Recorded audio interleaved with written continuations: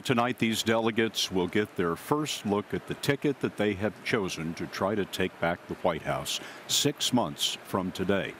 Vice presidential nominee Mike Pence will address this convention, and Donald Trump will join him on the podium. Here's our chief White House correspondent, Major Garrett. Donald Trump swooped over the Cleveland skyline in a corporate helicopter for a return to the convention city and a rendezvous with running mate Mike Pence before the Indiana governor's acceptance speech tonight. And I'm convinced what begins in Cleveland will end in the White House. Before the helicopter came the Trump corporate jet, which flew distractingly over a Ted Cruz event. That was pretty well orchestrated. Trump's family met him at the landing zone where he praised their speeches. Kids, congratulations. Fantastic job. Thank you very much. Not present and not mentioned, wife Melania, whose Monday speech lifted from Michelle Obama's 2008 Democratic Convention address. Your word is your bond that you do what you say you're going to do. Your word is your bond and you do what you say. Media interest led Trump to exaggerate on Twitter today, saying Melania's was the most publicized speech in political history.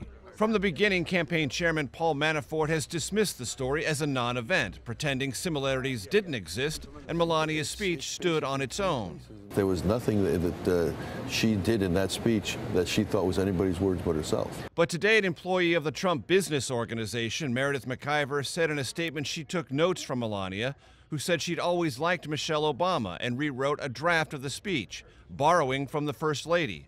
McIver said she offered to resign, but Trump turned her down. That was the fourth explanation offered in the speech saga. First, Melania told NBC she mostly wrote it herself. Then the campaign said a team of writers worked on it. Then two speechwriters from the George W. Bush White House said they submitted a draft that was rewritten. And finally, today's explanation. George W. Bush's chief speechwriter, Mike Gerson, said the story matters because it speaks to disorganization within Trump world. It was a mid-level problem um, that turned larger because of the ineffectiveness of the campaign itself. They proved they couldn't do uh, crisis management when it really mattered.